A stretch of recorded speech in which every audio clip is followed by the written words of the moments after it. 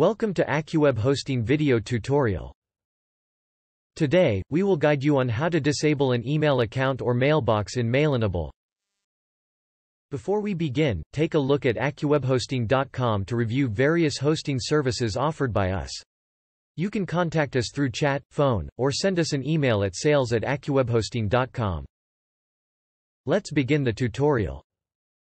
In order to disable an email account or mailbox in MailEnable, you will have to log in into your Windows Server with administrator user.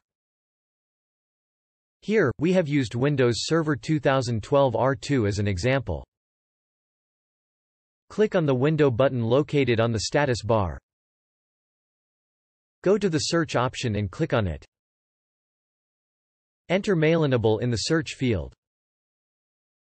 Once you enter it, you will see the MailEnable application. Click on it to open MailEnable admin window.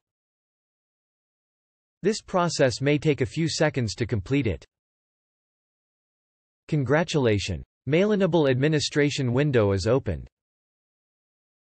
Click on the Messaging Manager. After then click on the Post Offices option. Here you can see the post office name which you have created to manage multiple mailboxes and domains. Select the post office name of which email account or mailbox you want to disable it. Here, we have selected post office name example.com as a demo. Click on the Mailboxes option. On the right side of the screen, you can see a list of the mailboxes which you have created. Select the mailbox which you want to disable it. Here we have selected Mailbox Demo as an example. Go to the Actions option and click on the Disable option to disable the mailbox.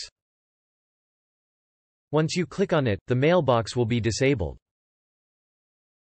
You can see a red mark on the mailbox.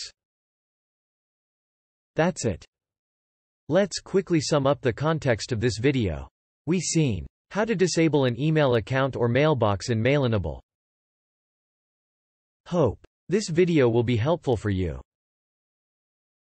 If you like this video, please click on the thumb button. Please click on subscribe button if you want to view such easy to understand technical videos published by AccuWebHosting.com. Thank you for watching.